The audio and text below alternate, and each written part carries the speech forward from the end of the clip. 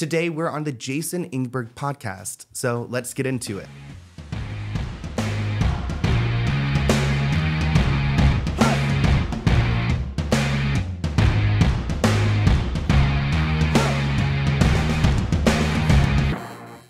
Your titles and thumbnails are ridiculously good, though. Oprah, she's wrong for this. I'm like, I need to know. I need to know. Yeah. Oh, yeah. I actually have a video I'm going to be posting today with a similar title because you once you see that one thing works, you can kind of just like repeat it and like adjust it to another celebrity. Oh, if my Ellen DeGeneres video gets a million views, why don't I go and make one about Oprah and then Jimmy Fallon and then James Corden? Everyone hates James Corden, so it's gotten really nice to like find my niche within like the algorithm and this formula because it's made it easier to produce so much content. James is kind of cool. I met him once. He seemed really, Mm. at least, there's like that practiced ability. I think they say that Bill Clinton had it like the best, like off the charts, where you just, there's nothing else in this person's world when they're talking to you besides you. And he had, he gave me that feeling of like, he was just so genuine. And like, I snuck onto his set right here in CBS. We were there. It's a pretty mediocre show with like Ryan Reynolds and Katie mm-hmm. Holmes as the guests. And then I snuck on to talk to him about it. Like, yeah. Hey, I want to write for your show. And he was like, he acted like it was normal that I did that. And like, he didn't have to do that. Well, now his show is gone for probably good reason, but I I just like I need to be nicer because I have too many enemies in the industry that yeah, I'm sure he's fine, but I've just like when I did the deep dive on him and finding these stories like the restaurant owner in New York City who like posted about him and these like terrible things, I just can't imagine like treating someone like that. And it's that weird like ick I have inside of me for people who act entitled, even people in the social media world or these TikTokers, because anyone can be a TikToker nowadays. Everyone just acts like they've got this like power. And like, yeah, he did, but he lost it. And I think those real, genuine people who are nice all the time or thankful for what they have, they will prevail, opposed to James Corden, who's like not even really funny. So maybe he could have used you as a writer because That's what I he told was him. terrible. I did tell him that. Uh, well, I said that I'd, I'd help his show, but um, you are becoming like a powerful person. It's funny because you're becoming the thing in a way that you you you often take down. I mean, I'm not saying that you have any skeletons in the closet, but it's like obvious that like it's it's so ironic to me that the trajectory you're on. You have like a million YouTube subscribers, and you're just beginning. Yeah, I mean, I know I'm not a perfect person, and that's why I've had my fair share of like apologies and things that I've misreported. What's nice about, I guess, my current situation is it's not very personal, so they don't really know about like what my day to day life is like. But it's it's interesting having that, I guess, what somewhat of power. I like to say clout. Like it's not like fame. It's not like because fame is something very different. It's just like internet clout is what I've got. Like really, but it is interesting to see these people who actually do have genuine influence become like scared of me or threatened by me or try to threaten me or my family. Nick Carter, Mike the Situation, Bob Saget, Drake Bell, um, Liz Gillies, TriStar Sports and Entertainment. There's just so many different, like, way more powerful entities that, for whatever reason, feel threatened by my little YouTube videos. So I think sometimes in my mind, it's hard for me to wrap around, like, wrap my mind around how it is influential. And maybe that's why I get the ick by people who do know that they are the shit because I'm like, oh, I just don't feel that way. And I, even like, I'm filming my videos alone in my room. And even if they get hundreds of thousands of views, it just doesn't feel, the only time it really feels like I guess that I have some type of power here is when people come up to me in public or um, just like randomly stopping me or yelling my name out of the car as they drive by, just like weird situations. Cause I'm like, oh, wow, like people are actually watching it because it's still hard for me. I don't read comments. I don't really, I mean, I look at the analytics, but I'm not like stuck on them. I'm, when I post something, I'm just like, okay, what's next? What's tomorrow's video? Like, because if it doesn't do well, that's fine. I'll move on and make another one tomorrow. And if it does great, then I'll feel good that day and like have an awesome time. But yeah. Yeah, you work so hard. The prolificness, if that's a word, is insane. What is it like a video a day now? Yeah, right now we've gone down to or gotten to a video a day. Before I was doing like five a week because I was so stuck in the nine to five mindset from working in like consulting and um stats and things like that. So when I like got into the YouTube world, I still kind of like stuck to the nine to five schedule. So it was a hard time for me to like work on Saturdays and Sundays. And even now, sometimes I'm like, oh, do I want to? But it doesn't really take that long to like put together a thumbnail and a title. And once I like realize the reward I get for producing so much, it's like, why not produce more? And I think once you get your th- your you know process down, it's a lot easier. I see a lot of creators who post like once a week because they spend hours editing. And I look at every video as a product. Like I'm selling a product to my viewers and hopefully they enjoy it and then I move on to the next one. But I don't want to spend too much time and energy that this product's going to cost me or it's not going to or a lot of people are so focused on these like crazy edits and it's like that's not what people are looking for at least for my content they're looking for the story so i don't need to do like crazy transitions or animation and that's what i think a lot of other creators get lost in and why in a short time i've been able to create you know triple the content that some of these people who have been on here for years doing uh, are putting out and it's a lot of content but i think that i've found like the perfect part of what i'm doing with this YouTube creation that um, I'm making the most of it, opposed to other people who feel too personally attached to their content and then spend or waste too much time on one piece to get really little to no reward.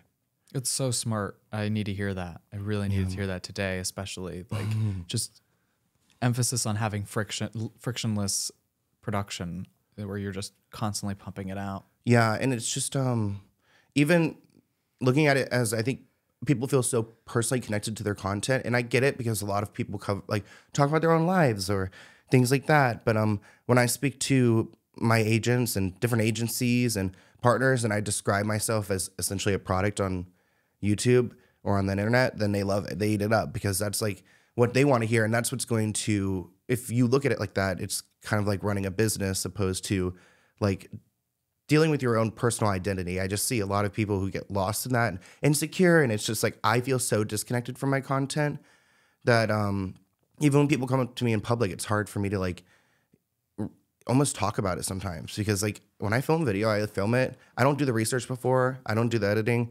So I film in that moment. I learn about it in that moment. I put it out, and then I'm kind of like done after that. So I'll have people come up to me and be like, "Oh, this one video you did on, you know, um, who was Demi Lovato's ex? creepy guy, some creepy guy.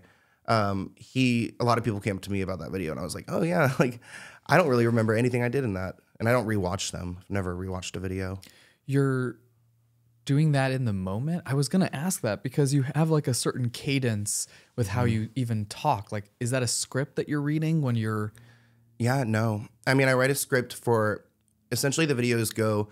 Um, 10 to 30 seconds of like dramatic clips that we use within the video with dramatic music to kind of capture someone in with like all the drama. Then uh, there's about a 40 second, 30 to 40 second moment where I give everyone they what they need to know if they were to click on that video. So if they clicked on my video and um, they want to learn about you know Joe Jonas and Sophie Turner's divorce, I give them everything they need in the first minute because I hate as a as someone who's watched YouTube forever. If you click on a video, then you hear someone sitting there subscribe to my channel, leave a comment below, make sure you share. Oh, hey guys, I'm doing really great today, but like just talking about themselves, it's like a new a new viewer wants to click on something and get what they're clicking on. Again, like it's like a product. Do you want to get what you so I mean if they like me along the way, that's great. But um that first bit is scripted because I usually sit down, film the video, and I look at the content before because I've I've always done this process as far as my research, and then I've taught my employees to just mimic it. So they do a bunch of research, then you put them in a story order that's going to look good. So I sit there and I kind of read ahead sometimes, but sometimes I have an idea of like what's going on too, because I will send these video ideas to my team and be like, hey, make a video about this. I saw it on social media. So I have an idea of it. If I don't really know, I'll ask like, Olivia, give me like a 30 second just premise of like, what am I getting into if I don't know the person at all or um, the topic. But that's all just like off the bat. I mean, again, like to the product reward, like if I sit there and write a script, I am not great at writing. I don't remember last time I've written anything longer than an email.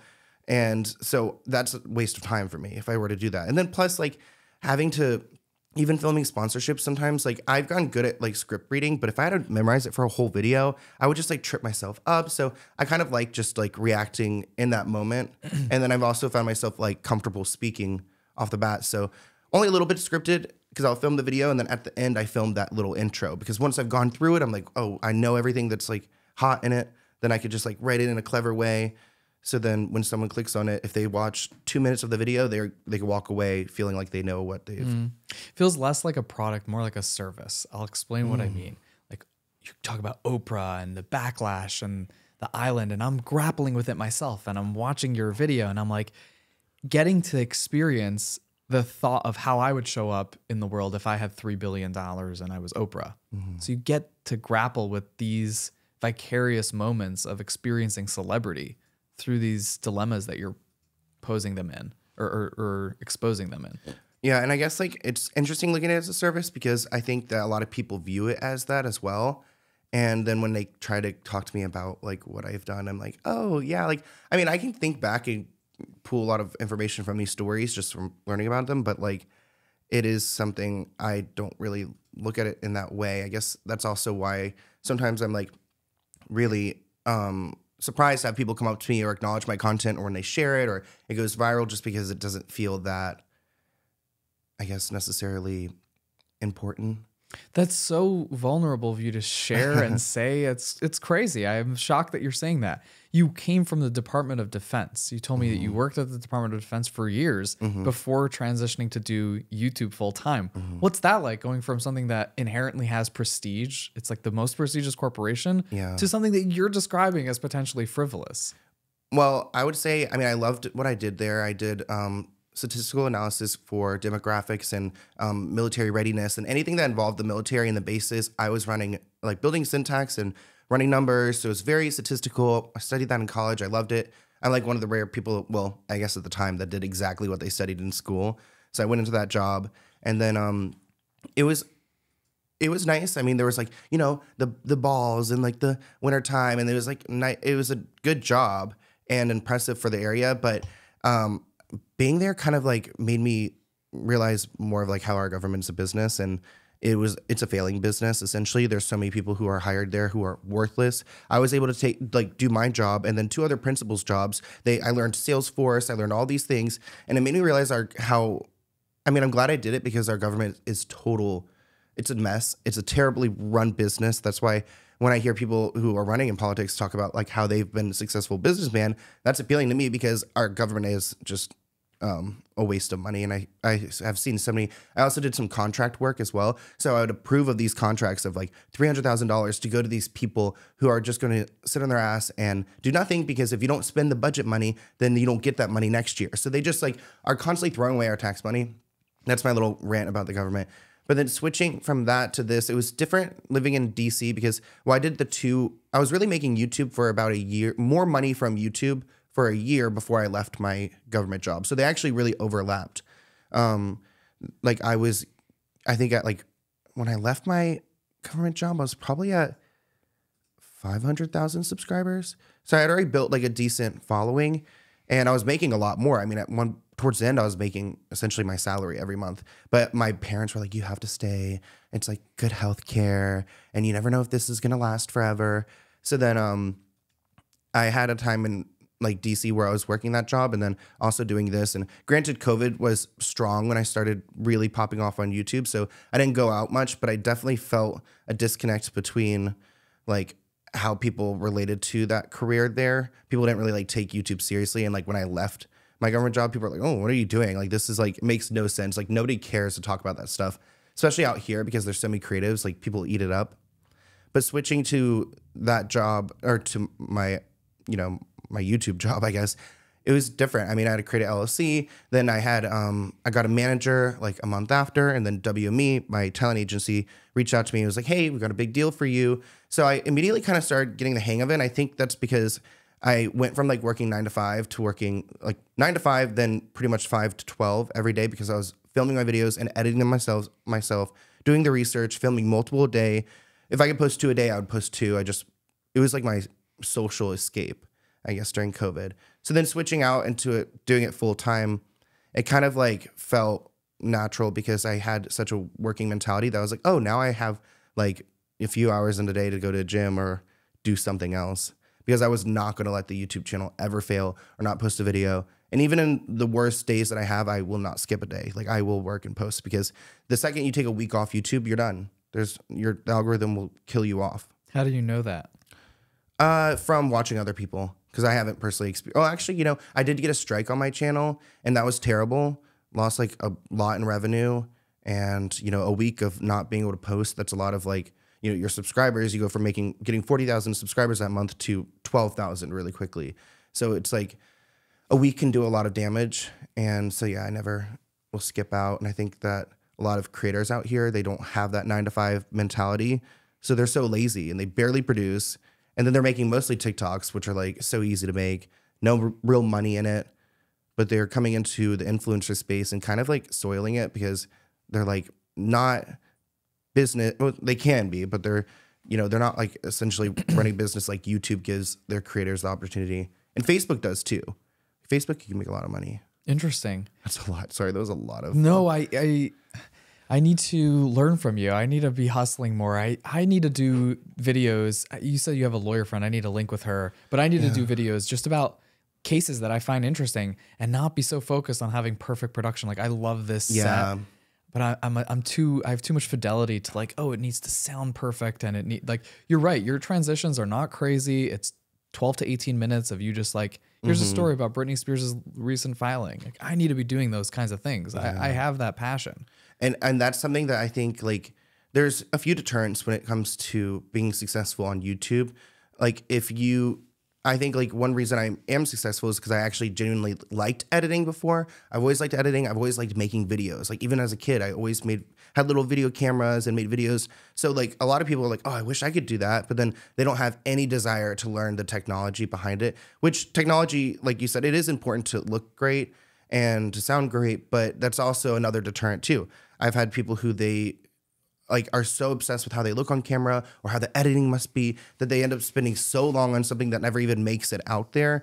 I mean, I know I had terrible sound at the beginning of my videos, terrible camera um, quality, and now I film on my iPhone. So like, I just hook it up to, with the webcam app, and it's these phones are just so great with their quality and their autofocus. So it's great, but there's people who are like obsessed with the it being perfect, and even for me, I guess I just don't have that in me because a lot of my videos too, like I like brushed my hair this morning and looked decent, but like I'll wake up out of bed, my hair is a total mess, and I'll just hop on there and film. Like I don't care what these people see, how they look at me, and I think there's like um And there's like 900,000 hits on some of those. It's Yeah. funny where like there's like a fuzzing noise in the background. they're, they're, they're older ones, like a Yeah. 44 minute video of you just talking at the camera with like a few clips that or, or you know things that slide on. on. Yeah, I think that's a different mentality too. Like maybe you or other people look at at a video as like so many people are gonna see this. This is gonna be like great, or like I love this. I put so much energy into this, and you want to be perfect. And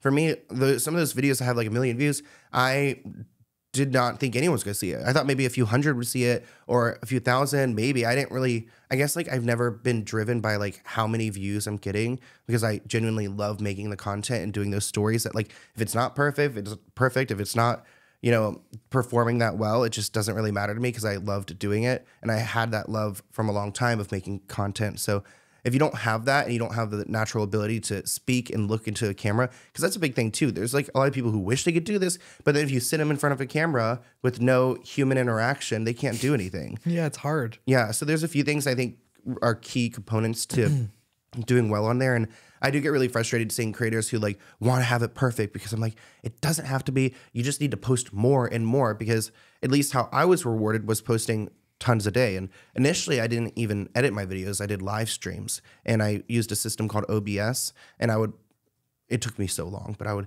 put in all the clips and all the pictures into OBS and I would go live and I would perfectly time things to go up on the screen or clips to play. And that's how I would produce four videos a day. When I first really started, I produced like so much because then I edit it. I would just get the stories together, put it into the system, and then click it live. And There were some times where I stuttered and messed up and it was terrible, but there were so many of those videos. That's so cool. Yeah, and they were totally they're horrible. I mean, I, I would click the intro to come on and stuff. Sometimes you would see me pop up for a second, and then the intro would go. And but they built me my channel, and they kind of funded my um like equipment. I mean, now I use my phone, but I did have a nice camera like these and a, a good setup when I lived in DC. And I afforded that because I went live, and on a live function, you can get tips on YouTube. I wish I would go live more option. I'm never going live because it's just a slippery slope. But Why? because you could easily mess up and then people have like these if they have like repeating questions they will just keep asking them and then other people be like why is he not asking, like answering them and then they'll just keep asking them and they just won't stop and it's just like your whole stream is like asking personal information or questions about like um, you know a scandal that you don't want to talk about so but that i remember one time i got like $1600 on a live stream I did, and that paid for everything. Actually, another YouTuber I was friends with, she's a terrible woman, whoever she is. I was so nice to her. Nobody liked her. I was so nice to her. I gave her tips. We talked about different stories. And then my friend who helped me actually learn the camera stuff, shout out to Dad's Challenge podcast. Yeah. he um but he helped me out back in the day and he did not like this woman. He despised her. And he somehow found out that she had an alternative channel where she edited her voice and she was making shit talking videos about me while she was my friend. And he unedited her voice. So then he sent me the files of him unediting it and it was her voice. So then I just like at that time my boyfriend was so like did not understand the YouTube stuff. And I was like I, I had like a panic attack. So I went live and was like exposing her and like for doing this, and that's when I got like sixteen hundred dollars, and it paid for all my camera setup. So, yeah, thank you to I can't remember her name. It was some like family channel thing. I really started talking about family channels when I like popped off. Mm-hmm. When I was talking about these kids that are being like exploited on the internet by their parents, people loved it. That's okay. So let's put a flag in that. Something that I want to get to is also um, you. You said to me you're an open book. I've never had a guest actually say that to me. It's so Mm. They it's have really something they don't want to talk about. definitely the lawyers. Oh, yeah. all have something they can't talk about or think Oh, they're they so they- annoying. I've had a few lawyers on, and they're like, "Oh yeah, I don't want to like speculate." I'm like, "Just give me your opinion." Right. So it was really refreshing to hear that. But I'm curious does presenting as queer and being openly gay, even in somewhere like Los Angeles where it's super friendly, you still have to bump into a lot of marginalizing discourse and, and a lot of scrutiny. So does the fact that you have to navigate yourself through that make it a condition that you feel like you are you you kind of have to be an open book. It's kind of like hard to pri- you can't privatize this intimate part of your life off, off the bat, which people want to like invade. Well, people can just look at me and uh, hear my voice and they're like, yeah, he's gay. So I don't really care. I mean, the gay thing's never really affected me. I would say like being a more conservative person and having a real world mentality opposed to these people who are so crazy woke in LA that they don't, you know, they, it's just people are lost in this weird idea of what like the queer community should be and it's discombobulated and to be honest i feel dis i feel slightly disconnected from that aspect of my life i guess like i don't ever talk about my sexuality really on camera i mean i was sometimes talking about my boyfriend and um i don't really advocate for queer things i actually have like um, I need to like work on it, but my podcast guests lately have been like super conservative, like LGBT people, and I don't want to. I don't ever want to align politically with anything because I just don't have that like intelligence. I guess like almost you know the Israel and Palestine thing. People are like, why aren't you making a statement? Why aren't you making a statement? I was like, I know a lot, but I do not know anything about that, and I don't even want to go and put a statement out if I'm not an expert. So um, I don't really like try to associate with the LGBT community or like do anything as far as content involving them. I guess like my life is like super gay with all my gay friends living in West Hollywood, so I don't really feel a need to present that. And also, I do appeal to more conservative people online. My audience is like half QAnon conservatives, right wings, and then half you know woke liberal, like survivor awareness type. So um, I think that if I were to push that, it would deter some people, just in the same way that I feel deterred by my own community, creating new flags and just rewriting everything. And it's just like now I don't even know where I belong because there's so many different options. I don't know if that answered it. I feel like I'm the worst like gay like creator because I'm not like I would I definitely want to give back at some point because I had a rough time like coming out and like I mean being on social media has been the easiest of it all. Like growing up in like a school, it was called Cowpie High, and having like my teachers bully me and having getting beat up and rocks thrown at me. I've had the worst things happen. So nowadays it just seems so cushy that sometimes I I think that like I hear older gay people sometimes like resent how great it is now for like queer youth, and I feel like I'm kind of like that in a way too. That it's like, oh, everyone has it so easy. I'm just like almost over it. Where's the struggle? There's no struggle anymore. You're asking like, is it difficult? It's really not. I feel like almost it has helped my career. That's very honest of you. I was going to ask, did did it? Well, it sounded like you had a harder time when you were younger. Did that give you the grit to be like, Uh huh. f what other people say? I'm gonna do my thing and be successful. Yeah, I mean, it. Yeah, it definitely did. I mean, I think in a way too, it isolated me into my own world, and then I was able to create this world with my camera because I was posting videos in seventh grade throughout college. I've had probably like six or seven different channels, and none of them really did well. I think my other my besides my podcast channel, I had another channel had like 40k subscribers, but like really they weren't popping off. But I having that like disconnect and like having this world to go into with a dysfunctional family and then bullying at home, it definitely motivated me. And then I guess um early on in my YouTube career, I never I would like these videos are part aren't they're not online anymore, but I would like say that I you know, YouTube's not a real job. Like, I'm never to be a full time YouTuber. Like, why would I be doing that? Because I had no concept of the money you can make or the ability I, I had to like move forward. So, I mean, it did drive me, I think, in my personal life to like work out and to like do well in my government job. But I never thought that I could ever do this ever as a career. I didn't think it was a real career. I just thought it was like a fun hobby that I've had. I knew some people made money from YouTube, but I didn't know how they did it. And then once I started making more and more, I realized really quickly that it's a mix of watch time and views. Subscribers don't count. People have like 3 million subscribers and they make like 5K a month. And so that's not important. That's why like some people they're like, you should be at a million subscribers at this point. Like maybe, but you know, that's also not what I'm like reaching for. Hmm. If I'm not getting views, that's the problem. Views and watch time. hmm watch time too. Because if they, again, like people, they click on your video and you're sitting there talking about, oh, subscribe to my channel, click off. They're not going to go through any of those ads. So I try to, every story I put together, maybe it's not like, I don't do it by timeline of the story. I do it by like most intense woe factor in the beginning, something to really capture them and to show them like, wow, this is screwed up, or I, I want to learn more about this. Um, and I think a lot of classic commentary channels, they go in like a timeline and they don't know how to, you know, shock someone in the beginning. They'll just go and like, I'm like, I'm sitting here taking notes, like shock them in the beginning. yeah, I, I, I, I'm, I'm still, I'm, I'm creating like C-SPAN content, like talking to lawyers about cases over like a long period of time. Like that's, that's like half of the stuff that I'm making, but I, I, I need to make it snappier and like you're saying, focus on just the wow factor. This hook is interesting. Um, what, what, what, what are you doing? Right? Like, what are you doing? You're, you're getting stadium mm-hmm. level people to come watch your videos, mm-hmm. which is so cool, right? Like if you get 110,000, there isn't even, or maybe you know, th- a million, whatever. There's no, there isn't even a stadium that can hold that amount of mm-hmm. people. So you're essentially like you're preaching gospel out there. Like, what are you trying to put out exactly? Are you trying to mm. expose to humiliate? Are you trying to expose so people can witness someone, experience someone more fully? Is it to punish the condemned, discipline the witnesses? What are we doing here? yeah. I guess um, I was actually like talking to journalists about this yesterday.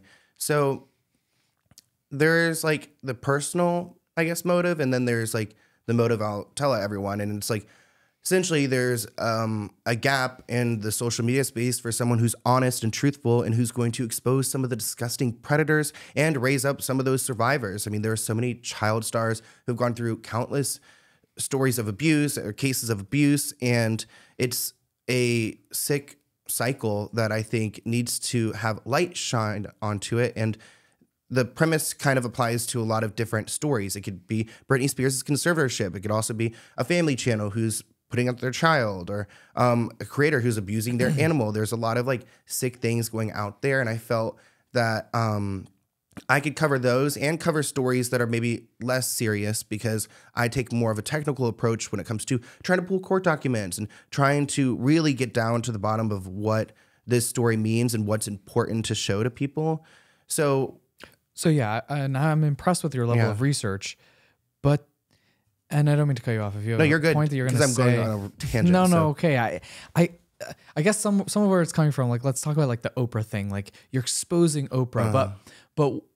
And and it was it was it's so enjoyable. Like I'm telling you, I love your stuff. Like Mm-hmm. so much of it is just like yes, yes. Like give me more of this. Like I'm Mm-hmm. I'm part of the people that gravitate towards this kind of thing. Um, but some of it some of it just shows that she can get away with it meaning even though sloan hooks is going to expose oprah she's still she's fine so in, a, in, a, in a sense what you're doing is showing no she's so much more powerful than she's untouchable you can't even imagine and that's some that's an unintended consequence potentially of your videos i would say Yeah, and you know, I think it's so interesting how you look at that, and that's I think how a lot of people look at it because for me, I made the video because it had it was highly requested, and I still get shocked at celebrities who cease and desist me or who try to message me, like Sean Kingston was trying to message me. These people because it is just like my little video and it's not going to affect them. Even like I was at Soho House and Drake Bell, like uh, no, not Drake Bell. It was um, Mike Milosh from the band Rhye came out to me and like started like going off on me. And it's like, I cannot, I still don't think that there's like, it's not that important. It's just a little YouTube video. Like it's not like yeah, a few hundred thousand views. That's nothing. No, how many people are that's out not there. true. But I'm just like it does to me. There's nothing to for Oprah. Like I don't feel like I'm doing anything to Oprah. Like if and if I That's true. like if I were to meet another celebrity, yeah, like I don't like I would be weird. Like I that's why I don't want to have too much bad blood in the industry because I don't really look at it that serious. Like if I were to like see someone who I've made a video about, um, like Jimmy Kimmel and like in public, I'd be like totally nice to him and normal. It's like it's just work. It's just that's what happens. That's the media. Like it's it's been like this forever. You put out stories. It's you know sometimes it trashes him. Sometimes it could look good, and then you move on. And just I feel like like I don't feel like an advocate or like an activist in some way with my content. I'm making the content because people are requesting it because people want to see it. So then I create the product, I put it out there, it's done. And I would hope that anyone I talk about, like if they had a real problem with it, like the lawyers can deal with it or they can reach out to me or we could figure it out. But I mean, it's just a video, like it's keeping them relevant for some of these people. Some other creators that like I've talked about are, you know, celebrities. It's like some people don't even know who they are. And then I bring them to a new audience. Like they should be thanking me in a way. so I don't know. I don't look at it as like a impactful, like, oh, I want to stop Oprah. Uh, I think maybe for the Free Britney movement, it was a little bit different. I was a lot more involved with it personally and like actually a part of a movement. But other than that, I, that's why I was saying earlier, I like film the video, I, I and then I check in, check out. And I'm kind of like, whatever happens, happens. I hope the person doesn't hate me because even like Mike, the situation, I know he hates me, and it's like, oh, I wanted to have him on my podcast at some point, but now we got bad blood because he took my video too serious. Like, it's not that big of a deal. I mean, that's not for you to say. I guess so. Yeah. Because you have a big fan base. It's not just a little video. I, I guess like I've gotten numb to that because I did have at points where it did affect me and my emotions, like in my personal life, and gave me depression when I did actually hurt someone through my videos. So I can understand how people sometimes get hurt, but that was a little bit more towards the time where I did like, uh, I guess more scandalous exposés as far as like they weren't really publicized.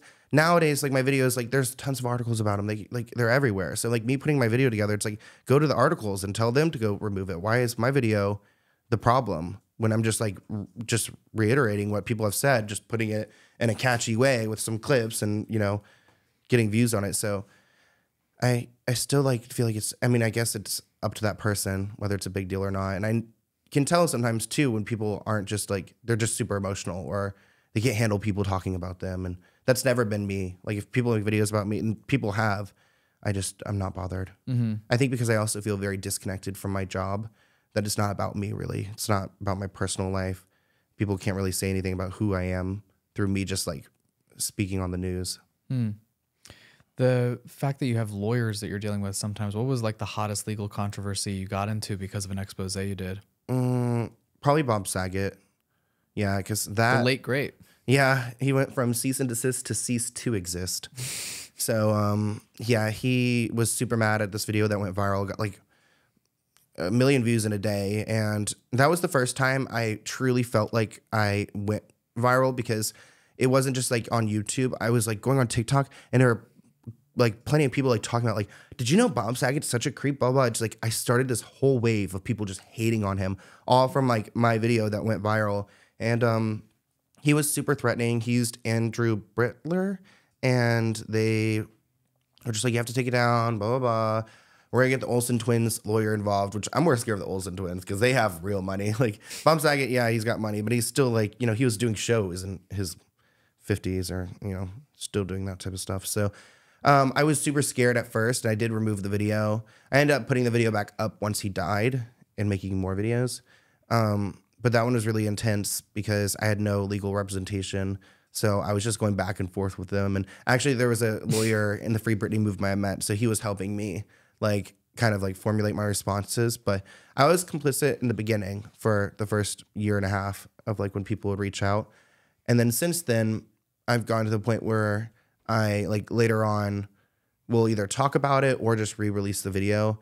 Like Liz Gillies sent me a cease and desist, and it was so sad. It was like a paragraph long. And I took down the video because I was scared. She's like, "You got 24 hours." So I was like, "Okay, well, I'm gonna wait till the 24th hour because I'm gonna get all the views I can because this video is doing well." But then I ended up taking it down. And then a year later from that date, I made a video of the cease and desist letter and told kind of told the story, but I was like, oh, did you know I made the title like Liz Gillies threatened to sue me? And it was like a year after that letter came to me. So sometimes I like take those things from the past and I'll like bring them back to life and be like, oh, like here's some more content. Like if someone's lawyer reaches out to me, it mm, like nine times out of ten will end up in a YouTube video or any God. celebrity does. Mm-hmm. Yeah, more content. More content. Yeah. Everything is content. Yeah, I guess so. Mm-hmm. So, what are your goals for the channel, and how do you, how do you like make sure that you're going to keep up the growth?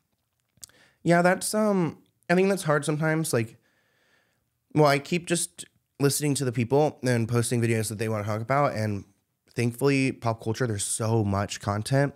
I've got lists and lists of things to talk about. So I'm really like focused on just keeping that going and you know hitting my million and uh, just producing kind of the same content on there. I don't really see much change coming from that.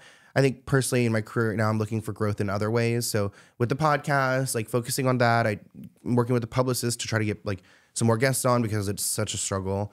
And then my Snapchat show, and then working with merchandise and uh, getting on the red carpet and doing some interviews for like People Magazine or EET or things like that is kind of where I'm headed because ultimately I know YouTube isn't going to last forever. So I want to make sure I get myself everywhere so I can make some type of name for myself so that whenever YouTube does like, you know, fail or if I fail or if the site fails or anything, um, I'll have I'll just graduate into mainstream or do something in entertainment. Mm-hmm. You said you got a strike once on YouTube, and that Yeah. took you down. I learned that if someone someone could strike a YouTube channel and then extract the revenue from that video, Mm-hmm. there's all these different intricacies behind strikes and things like that. Like, how do you make sure you don't get struck? The stuff you're talking about is so contentious. You're pulling from other sources. Like, Luckily, I have. Well, I mean, I was gonna say my friends at YouTube. They're not really great friends. They don't help me that much. But um, that video actually, what's interesting. Well, I get a lot of. There's two different types of strikes. You can get like a policy strike, or you can get a copyright strike. Scooter Braun needs to stop sending me copyright strikes before I actually build a case against him because he's wrongfully using the Copyright Act because I have fair use using his picture and talking about him. And actually, in the two videos that he's strike me on, I blurred his picture in every photo. I had my editor blur every one of his photos because he cannot copyright that. He still keeps copywriting me, and YouTube is telling him, no, you can't do that. And then he's sending his legal team and sending YouTube threats that he's going to sue YouTube. So if they don't take down my video for copyright, he's going to sue YouTube. So that is disturbing, and I'm trying to figure out my way around that. I had to remove all my Scooter Braun videos just because if he were to keep striking them, I could end up in trouble. Luckily, a copyright strike isn't that big of a deal. Policy strike is I've had two of those, one on my podcast channel, one on my main channel. On my main channel is for a video that never went public, and I actually uploaded that video ten times because like you said, I talk about difficult topics. I've found ways to make sure they're monetized because I won't post a yellow video. Like never. I'll wait. If it's like a hot news topic and it's yellow, I will wait a week if I have to until it's green to post it because posting a yellow video will make you no money. There's no point in even creating the video in the first place. Yellow meaning Demonetized. Like the little money symbol by the thing. So um yeah, I had a video that I uploaded 10 times. It kept getting demonetized because it had Drew Barrymore making out with a 15 year old. Oh no, not Drew Barrymore. Who was it? It was uh not me setting up Drew Barrymore. It was um the she was dating Ashton Kutcher, I think at some point. Demi Moore. Demi Moore, yes. Demi Moore was making out with a 15 year old, and they said it was child porn, even though I blurred it and I put a censored thing over it. Um, uploaded it 10 times. It got demonetized probably like seven times, got human reviewed and approved twice. And then once it got demonetized. And even though it wasn't ever public, I got a strike for it because they said I was putting out child porn. And it's frustrating because I had two of those videos, the same exact video file, get approved for human review, uh, by human review for monetization. So how are you going to, like, the same file give me a strike on it when these other ones are approved. And of course, I don't bring that up to YouTube because what YouTube would do, from what I've learned, is they'll say, they'll say, "Oh, oh, like those are monetized. Let's go back and then we'll strike those too, and then you'll have three strikes and you're out." So I had to take the L on that video, and it never went public. But getting around the rules, I mean, censoring, blurring, and then I upload it multiple times with fake titles and fake thumbnails until there's a stupid human review person who just approves it for monetization, doesn't care, and then it's then I could put all the ads. I could put the word rape in the title if it's approved. You can put anything in the title. They won't take it down after the fact. Uh, nope, unless they're like um like pinned somehow. Like so, if they it got a like a lot of reports from viewers, or if someone like reached out to YouTube. But other than that, no, they like the word abused is very demonetized. I have a few videos with the title abused because I had someone review it with a fake title, and they were probably lazy, you know, sitting there with their chips in a Google Office, and they're like, oh sure, this is fine. Because the hu- the system reviews it at first, and then if it's demonetized, you send it to a human to review it. Sometimes that human is lazy and they just approve it, or sometimes I'm like I'm thinking there's someone there on my side who's like helping me out. So mm-hmm. maybe So, what are those some celebrity stories that did stick with you? I was talking about the Shein expose that you did. It was really cool. Like that's John Oliver level reporting right there. Yeah. Um, but what are some of the stuff that you have put out that did stick with you that you're like, okay, I'm glad I drilled down on that. That was a crazy story. Hmm. I mean, there's some videos that I've talked about and they did really well. So I think that like sticks out to me like money wise because I'm like, oh, like this one paid for my rent for like three months. um, What was the most you made on a video? uh, I think I haven't looked in a while. Maybe like twenty thousand. Mm-hmm. Yeah, that was like a lot too. Like usually every video makes like two to three k. So twenty thousand was like a lot, and that was like I think my most viewed video about uh, Dan Schneider. Um, I don't know who that is, but and you're pumping these out from like a webcam, your iPhone. Yeah. it's amazing. Yeah, and I'm used to. I mean, sometimes even if a story is hot, and I'm like, I need to get this out right now. I'll edit it myself and just like throw it up, and it would just like I did little to no editing. I'll just put a picture over a few cuts, and then it have like 300,000 views that day. I did one about Ariana recently that did that, but I mean, I think like the videos that stick out to me are the ones that I, I guess I didn't think would do well, and then they did do well. Like my Jared from Subway video, that was uh, it did really great and i was like surprised because that was the first time i was really tapping into a story that's like 10 years old but it's disgusting and um, it kind of opened my eyes to other topics i could talk about that like people my age or younger than me will not know or um, would be interested in like i did one about shirley temple. That one has like 900000 views. It's like i didn't know who shirley temple was. And then learning what she'd gone through it's like horrific. So i love when i can talk about those or like elmo. I did one about barney. I did like all these like weird characters, and those ones really stick with me because I was like, oh, I didn't really believe in them, and then they like popped off. So and like my Woody Allen stuff has done really great. It's like who would have thought that like you know everyone my my one of my good friends, a lot of my colleagues too in the commentary, they talk about like really current topics or they talk about other YouTubers or people in the sphere. So I've kind of found my niche, and I think I've done well with a larger demographic by talking about the older stories, talking about Elvis, and then um, also keeping up with the current news that I think that they would be receptive of. so cool to hear the numbers and the mindset. I'm curious what your opinions are on a couple of celebrity things. Mm-hmm. Uh, the Rust Alec Baldwin shooting. Like what what is what does that mean to you? Mm. Oh, he's a monster. He's an absolute monster. I've made a few videos about him. I mean, the voicemail he left to his daughter, it's terrible. Um, you know that story. I wish like. uh, it's so annoying because like the QAnon people like took it and like made it into this thing where that girl was supposedly creating like a human or child trafficking like documentary. The one the victim Halyna, I believe Halyna Hutchins. Yeah, and um, so that story. I mean, I think he's absolute trash and. I mean, when it comes to Alec Baldwin, like he gives me like sell your soul vibes. Like I think he's just the worst type of person out there. Him along with his wife Hilaria, who lies about her ethnicity and her background. They're just like sick people, and he's clearly mentally ill. So I wouldn't be surprised if he did do some like shit like that, or if it was some I don't know weird. I like am I'm in between like reporting on like real news and pulling the documents and those things and then also conspiracy because part of me I don't express this as much but I do feel like Hollywood is like really evil and um I think that like they could have like taken her out if she was some threat or had some documentary piece but you know the website says that that's false news right. Either way I think he's terrible and his wife is absolutely horrible and I think even their um Justin Bieber's wife she's not great either what's her name Hailey. Hailey, oh god, she's tragic. All the racist tweets that she's done before. Yeah, it's just like like I I that's one thing too. I think uh, I'd never like Is she? Oh, she's a Baldwin. I Yeah. never even put that together. yeah, she her uncle's um Alec Got Alex. it. Yeah. So um, she's terrible too, and I just can't imagine like some like when I hear these stories about Alex Baldwin being a terrible person or fighting with people on the streets of New York, I just can't understand how someone does that. Like, and even the racist stuff. Like, I've never said a like racist thing. I mean, you know, everyone's a little racist, but like, I've never like used the N word or things like that. And like where I grew up, like you would never do that. Like, what are you like talking about? So to see people like you know Hailey Baldwin coming up and like tweeting all these things, and I just think they're an absolute trash family. Mm-hmm. It kind of reminds me of like Emma Roberts too. Like now that she's a nepo like star, I think she's just like treats everyone like absolute garbage. Mm-hmm. She's not even a great actress. I'm not so familiar with her, but I am familiar with the Kardashians, and Uh-huh. I, it's it's tough. Like you, you say that Hollywood is evil, and what isn't evil? I mean, every, industry is like a little bit evil. You can go into medicine, law. I'm sure. Mm-hmm. Even this is essentially because it's self worship. We think that we're worthy enough to like be on camera and to be talking. And I think that like everything's kind of evil. It's just different degrees. Kardashians are definitely like a higher degree.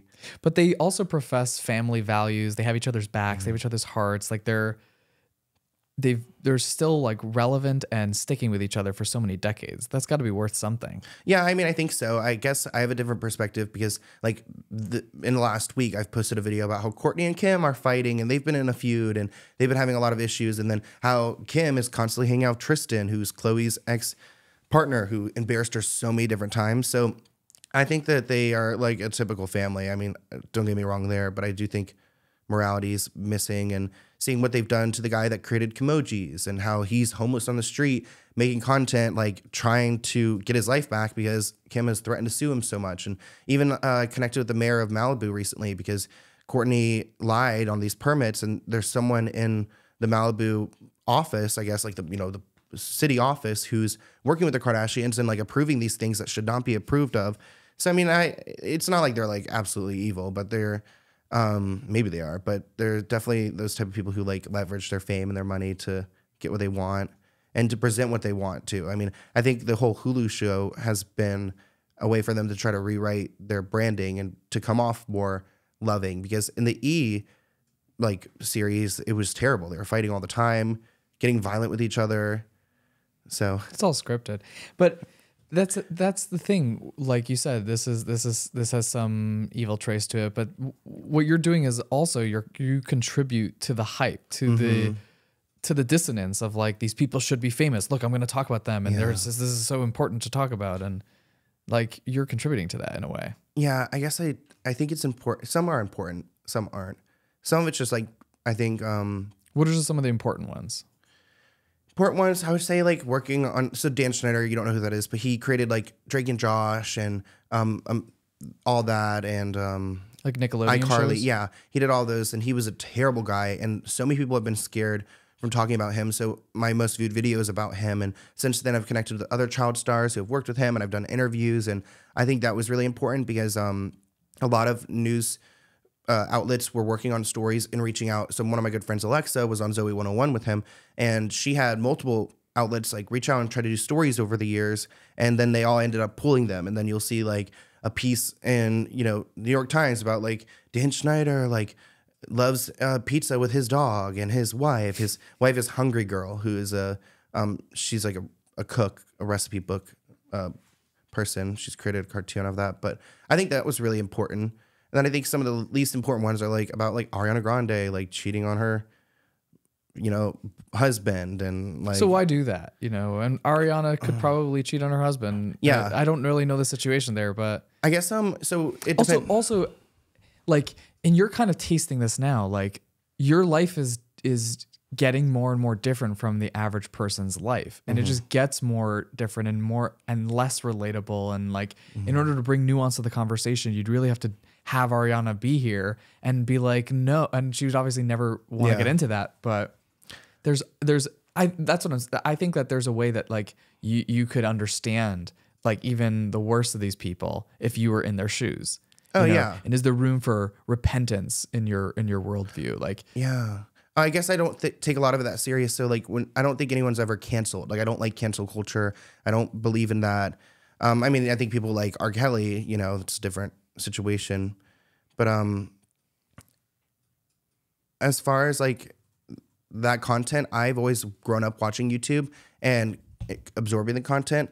So I think that there's value to me personally by making it because I am reaching people, even though sometimes it's hard for me to grasp my mind around it. I am reaching people, and I'm like people love every day to like look at my videos and getting their daily dose of Sloan. And even though it's not necessarily that important content, I mean, covering like the really intense stuff all the time that's draining. Like, and I even me as disconnected I as I am, it's like people sometimes tell me like, why don't you talk about something that's a little bit more positive? And it's like, unfortunately, that's kind of the more positive stuff. Like talking about the Ariana Grande cheating thing, like people are kind of like gagged over it, and it's just like not that serious, but it's still news and gossip. So I think I find the value in just actually putting out the content. So those people who do wake up every morning to watch my videos and get ready or on their drive, they can like have it available. So it doesn't have to like be the most impactful social movement. Why do you think people, including myself, are so interested in this kind of stuff? I mean, I haven't clicked on the Ariana Grande cheating. I probably never will, but like, Yeah. But there are, and, and like I said, there's certainly like the the Shein one. That's that's beautiful. That's like that's so important. I wonder which one you saw. I did too. I saw the more the more recent one. Yeah. Where you're just exposing how they're exploiting their workers and hiding it and Yeah. It's just tragic. And anytime you bring awareness to like what we buy, what we wear, how we contribute, everything's touching each other, the globalism of it all. I think that that was a really beautiful piece of journalism. Yeah. And like it's fun to watch you do that. It's almost like indiscriminate. Like sometimes it's like I'm gonna go all in on Kim Kardashian Mm-hmm. taking this pi- picture, and then sometimes it's like no, we're gonna take down this like world order entity that Yeah. has this global demonization. And I think those are very different. Like Oprah should have helped the island people. Like she has all the money, but does she Mm-hmm. have to? Like, do you want to live in a world where like you get to that level and no, now you're obligated, and th- this is this is the way of the world. Like we can just make our demands, and you have to cower to them in Mm-hmm. a way. And I mean, you know, d- d- does everyone have to save the world when they have a billion dollars? Like, um, but Yeah, I think I would like to do more of the Shein pieces. Like if I had, it's just those are more difficult as far as research and and like finding a company. There is a little bit more risk and like being held liable. I mean,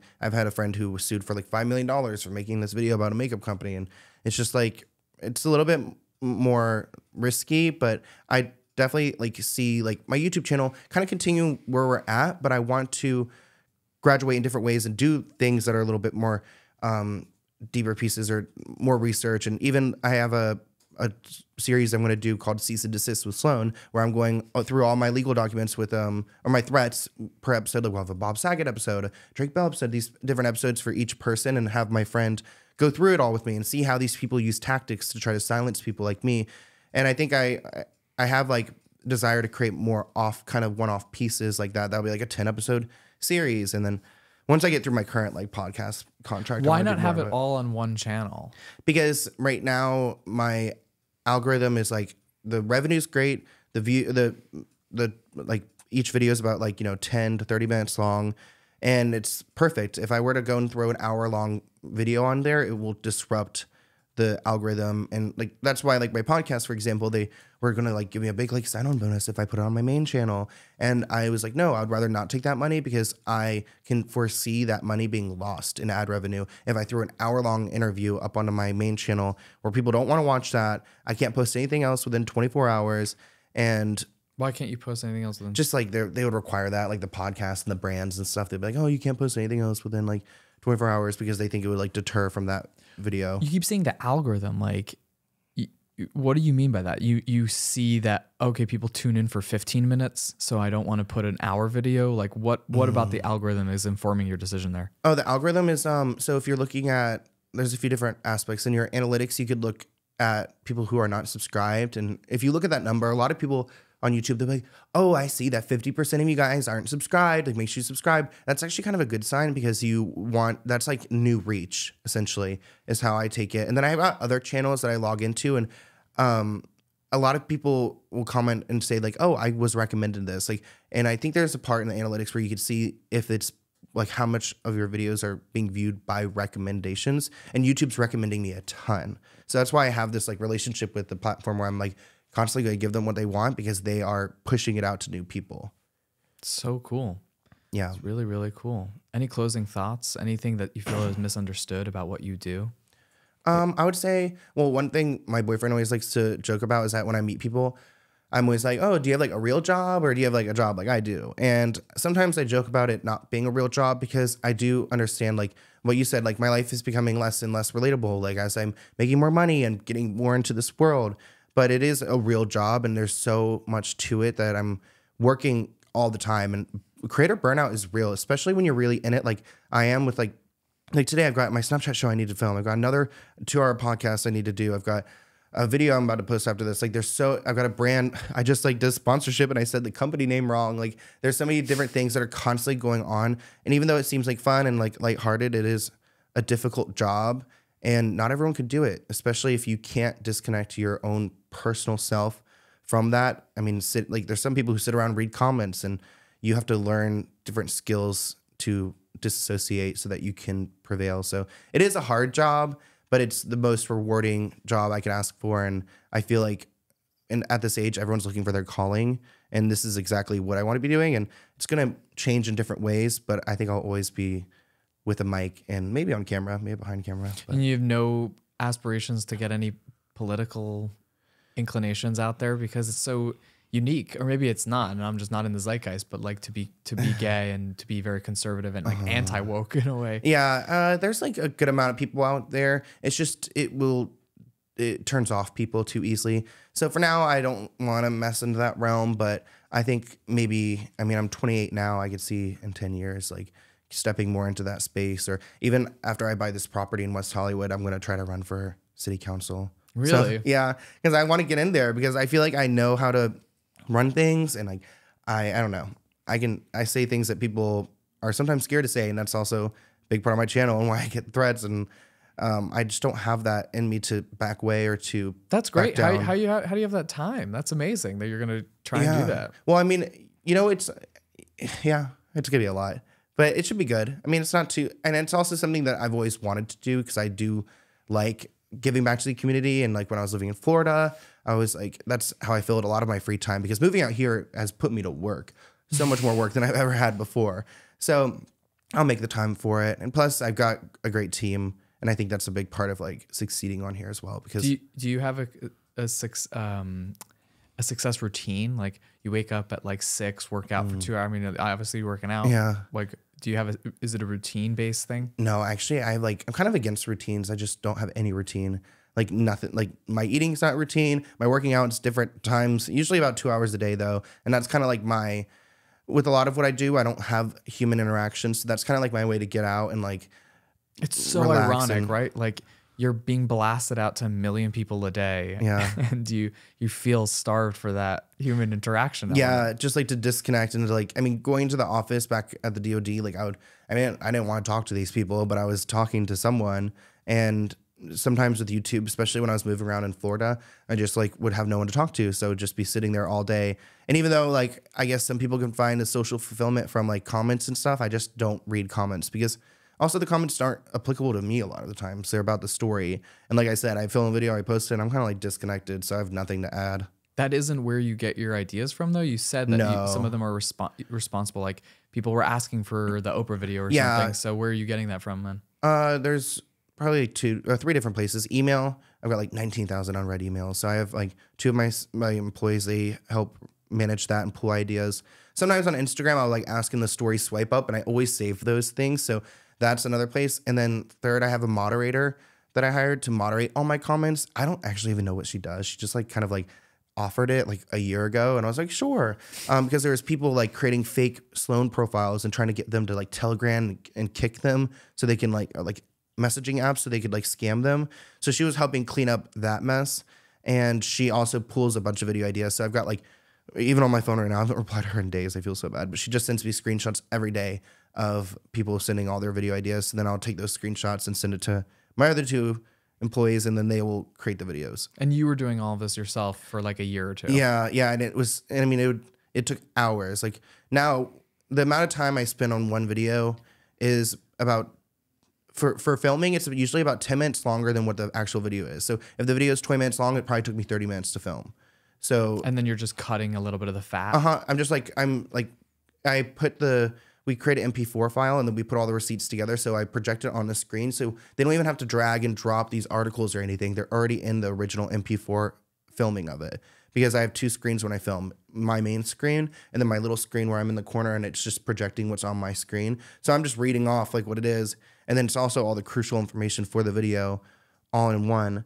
So um, That's really cool. What how, what software do you use for that? I use OBS OBS. and then said that. Final Cut Pro. Mm-hmm. And then so then I yeah I spend that amount of time and then I create. I'm very particular about my thumbnails and titles. So for each video, I usually spend about 40 minutes total compared to when I used to have to edit it, add like an hour or two hours onto it. So Still, that's lightning fast. yeah, so I can film like I have big filming days. Like tomorrow will probably be like six videos I'll film and just like knock it out and get it done in like four hours. Wow. Yeah. Really cool. Thanks for making time to do this. This was really fun. Thanks for having me on. It's like good PR training. I feel like it helps. So I have so much to to learn from you. The the prolificness, like I said, and uh, the grind is so real. Like I have a friend that's a really successful podcaster, and he's one of the most stressed out people I know. And like he has to make it look effortless, like at least his public persona. And really, he's just like losing his mind all the time, like with just you know ad revenue pressure and strikes and comments and Ugh, yeah. it's, it's just a lot. It's just so much, and you know, so it's really cool that you're you're out there fighting the good fight. Yeah, thank you. Mm-hmm. I'm gonna do it as long as I can. Why do you keep saying that? You, it seems like you you you feel like there's a sunset on YouTube. Yeah, I think everyone kind of has it, but I mean, What luckily, do you mean? Just like in, in the zeitgeist out there, it's percolating that YouTube's not the future, or Uh, no, I think YouTube will always be around. I just think I've seen a lot of creators who are just not relevant anymore, and I'm very like cut and dry. Like if you're not relevant, you're not relevant. Like it's like even some people will be like, "Oh, make a video about this," or like someone in my gym will be like, "Do this," and I'm like, "That's no one's searching that. I'm not going to be talking about that on my channel." Like. So just in the real world, I know that it doesn't last forever, even though I would like it to. And I think that I am, I've got a niche where it's not dependent on my life. It's just dependent on stories and they could be old, they could be new. So maybe it will last. But I also think that I just, for me personally, I want some more. I want more out of it. So I don't think it will always last for me because hopefully one day I'll have a show or mm. be at a network or something along those lines. okay. So wait. So while I have you, I, I need to get more prolific. I've been saying that like ten times here. What what would be like five video ideas off the top of your head that I mean maybe you don't want to put me in competition with your friend that's also a lawyer who's an Oh, no, you're influencer. fine. Yeah. So what would you what would you say like? Because you, you said like things people people wouldn't want to search. Like sometimes I do podcast with like someone that fought a legal battle for 10 years or whatever and like no one cares about it like i interviewed this woman about like homeless crisis and like she was really doing the work and no one no one really seemed to care much about it it could be because my titles are off thumbnails there's so many different factors but i do think it's about the content underneath like what do you think i should do um that i i, I can pump out the content as fast as as uh, you are So are they all interviews, right? they all are interviews but i'm i'm down to start just talking at the camera Well, there's, I would say, if you want to, as I guess my mind goes to pop culture. So, like, I feel like if you can connect with the lawyers who have represented cases as far as like reality stars or real housewives, like, those real housewives are constantly in trouble. Like, something where the, you need to have, your guest is not going to grab the attention. Like, no one, no one know, like knows the lawyer, but they know who they're representing. So for me, it's like if the person or the topic's not being Googled, like if I made a video about, I um, I made a video recently about a rapper named Blueface, and I don't think he's that popular, so I almost titled it "Rapper." This is the worst like rapper ever, or like something along those right lines. blueface is bad father Yeah, yeah, title yeah. So I almost did like this rapper is a terrible father instead because I'm like, oh, is Blueface going to deter people? So you need something that's going to come off relatable, and people relate to reality TV a lot. And I think when you when there are cases like I mean the Amber Heard Johnny Depp stuff was super hot. I don't know if you talked about that with people, but just like any topics that you can have like a lawyer friend or someone to bounce like ideas on. Um, I know like Emily D. Baker, she was making like two hundred thousand dollars a month in like ad revenue just from covering that case, and it's insane the amount of money that is in the legal world. It is there, but she's been able to take it and you know make it very pop culture esque. And I think that Emily D. Baker, she's Uh-huh. a creator I need to check out. yeah, yeah. Have you ever seen her? No. Oh, she's and she's got a great branding, law nerds, and she's an excellent like uh, legal YouTuber, and she does live streams mostly. So that's a lot of ad revenue she gets from that. But I think making something you have to always think about um, is it SEO, search engine? Yeah, SEO. Every time you like go into a project, so even like talking to someone who you may think like has a boring story, if you could find something that would be a search and like you know show up on a search engine, then Mm-hmm. try to leverage that. Right on. Well, thank you so much. This was really fun. Thanks, Sloan. Wish you Mm-hmm. The best of luck with your channel. Yeah. Bye, guys. Okay. I didn't imitate you once. I wanted to at least say once, let's get into it. Yeah. I didn't do it. We should do that. Let's get into it. Jason Ingber. Yeah. Ingber. Yeah. Today we're on the Jason Ingber podcast. So let's get into it. I don't know. If, I love how you do it in one take. You do everything in one take, right? yeah, I try to. Sometimes I mess up, and actually I do a lot of like. My editors will, if I mess up midway, I'll go back and just say.